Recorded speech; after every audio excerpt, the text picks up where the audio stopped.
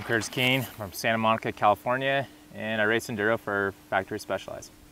Last year was my first year, um, you know, dabbing in Enduro, and it was quite fun to say the least. Um, I enjoyed all of it, and um, I definitely wanted to pursue it full time along with uh, Specialized, so we made a mutual decision to go for it full speed. It's been great so far. We're here in France, and look at this cool place we're at right now. You know, we're gonna ride our bike all week here, so excited. Yeah, the Enduro 29 is a 160 mil travel bike. Um, I have the RockShox Pike up front and the Monarch Plus in the rear. The rear is 155 mil, you know, with the big wheels, 29, big tires. It's, uh, it's really, really capable uh, trail bike. You know, it likes to go fast. It's very confidence inspiring. So it's just uh, almost kind of feels like you're riding a downhill bike. So it's, it's really fun, you know. And also, it's not a downhill bike. You can pedal up, and it pedals up quite well. Very, very impressive. Um, the uh, Specialized boys did a really good job on this one. It was an accomplishment on its own with the su super short chainstays.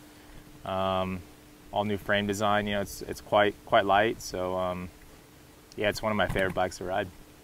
The enduro format is something that kind of changes venue to venue, country to country. Um, the French ones typically are all lift access and it's just multiple stages throughout the day. You only get one practice run. You know, some places are all lift access, some are some shuttle, some are all climbing, um, big day, or you know, one day format, two day format. So it's it's still young. It's still we're still trying to figure out like what works, and it's gonna really vary on location and providing the location, whatever works best for it.